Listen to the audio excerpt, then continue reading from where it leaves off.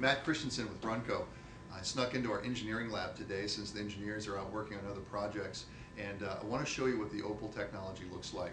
So what I'm going to show you today is our new CX Opal 47 which is our full 1080p LCD that has the Opal technology infused within it.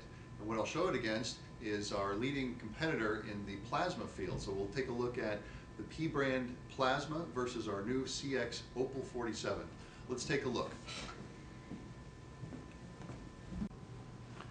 Okay, what we're looking at here on the right hand side is the new CX Opal 47.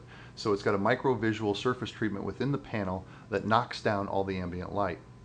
On the left hand side we have a famous P brand plasma that uh, is commonly known as the best blacks in the business. And so we, what we have here is just a, a normal ambient lit room with both of the panels off so you get an idea of the black level of the Opal technology. Really cool stuff.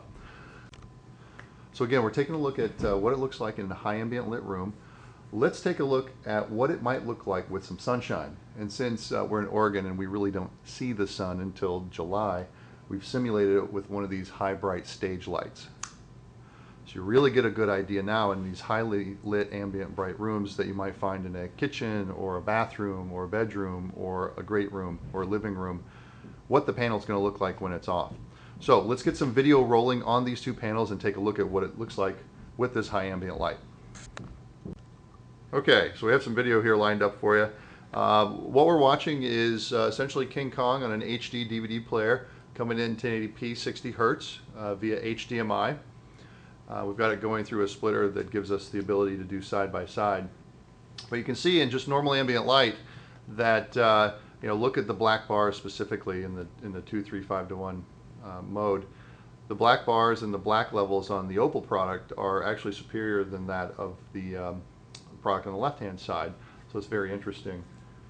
Let's take a look and see what it may look like if we were ever to see sun here in Oregon.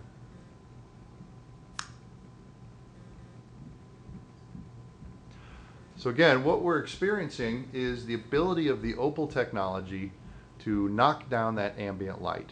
And so all the light that's coming into the panel is being redirected at a substantial level in order for the images and the light that's coming back through the panel to come through to the viewer's eyes. That's the light that we want to maintain. That's the light that we want to see.